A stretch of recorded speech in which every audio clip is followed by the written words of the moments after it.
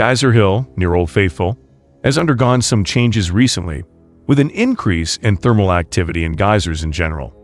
The changes are reminiscent of those that occurred in the same area in 2018 and are a testament to the dynamic nature of Yellowstone geyser basins. On May 24, 2023, observers on Geyser Hill in Yellowstone's Upper Geyser Basin, near Old Faithful, witnessed something they had not seen in two years.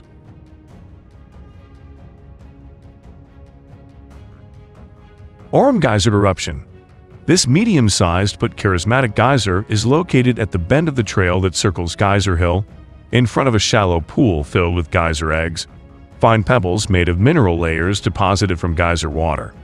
According to citizen scientist observations, Aurum was seen erupting nearly 30 times over the next 14 days, sending water rising about 6 meters, 20 feet, into the air.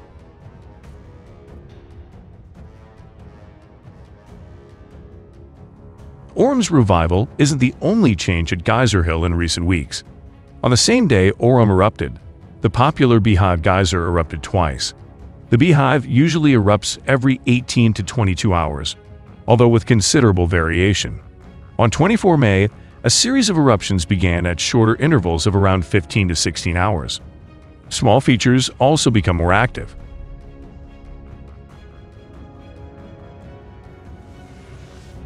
On May 30, a small geyser known as UNNGGHG17, a designation based on a system for naming small or unnamed features according to geographic location, in the Doublet Pool runoff channel is beginning to erupt for the first time.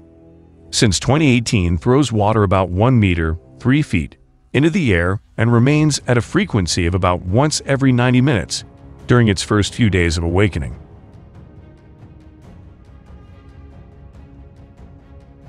Unusual activity on Geyser Hill is of concern to the public. Resident scientist Graham Meech watched 17 erupt 20 times over two days, carefully noting the timing of the eruptions and how the intervals between eruptions varied.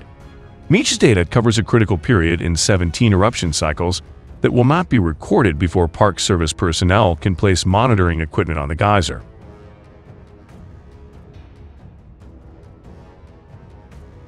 As 17 began erupting again, a new feature dubbed UNNG GHG17 broke through the surface. 17A, located approximately 3 meters, 10 feet, southeast of 17 and next to the sidewalk. When a new feature erupts, it raises sintered shards, rock made from minerals deposited from geyser water, and away debris, some of which lands on pavement. By 5 June, the bore diameter of 17A had grown to 0.75 meters, 2.4 feet.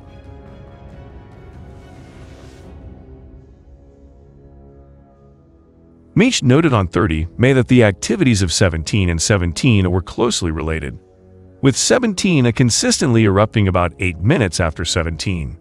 Just days later, the behavior of the new geysers was very different. Even before the geysers flowed between eruptions, the park's geology staff who visited the site on June 5 found most of the pools of water pooled up to the rim, 17 and 17 began to experience several independent eruptions, and the interval between eruptions was lengthened. Preliminary analysis of temperature recorder data indicated that 17 had experienced 13 eruptions on 2 June, with a median interval of 1.8 hours between eruptions. By 5 June, this had dropped to 7 eruptions, with an average interval of 3.7 hours.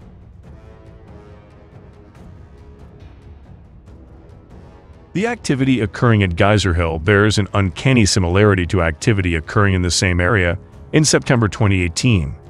This time period included the rare Ear Spring eruption which brought decades of human waste to the surface, including coins, hats, cans, ashes, block, and baby pacifiers. In fact, it was during this period that the feature known as 17 first formed.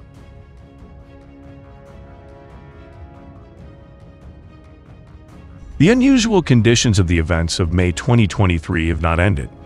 While activity on 17 and 17 has slowed, a feature that had previously existed near Doublet Pool, halfway under the pavement, came alive.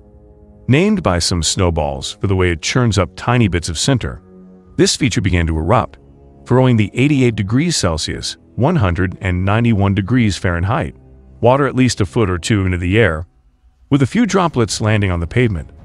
Activity at the feature was nearly constant on 4 June, with eruptions reported every 90 seconds. Then, on June 7, a new vent a few inches to the west of Snowball opened, splashing water in frequent eruptions and cascading in whirlpools.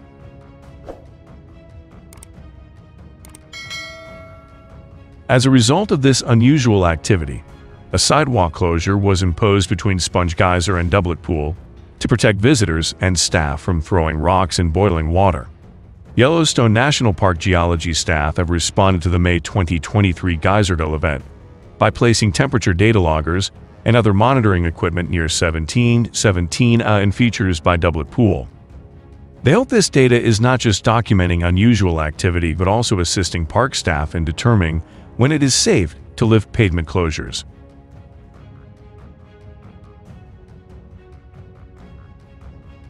Changes like the one currently occurring at Geyser Hill are common in Yellowstone's Geyser Basin.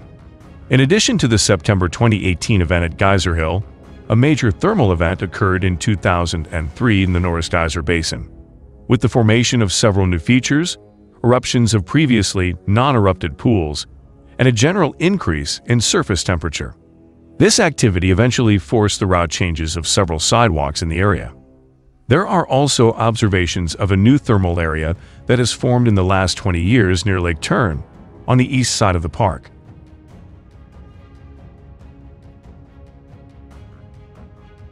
In most geological contexts, change occurs very slowly. This is not the case in highly dynamic hydrothermal areas. By the same token, it is difficult to predict the direction this particular thermal event will take. Geyser Hill may cool quickly, and return to normal activity, or additional features may form or continue to be built. The most constant thing about Yellowstone's geyser basin is its change.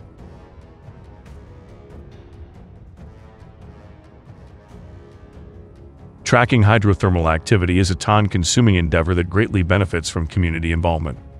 Observations discussed at the meeting included input from Graham Meech, Lori and Steve Walker, Shannon Morak, AJ Ferreira, and several other Yellowstone National Park staff members and the general public.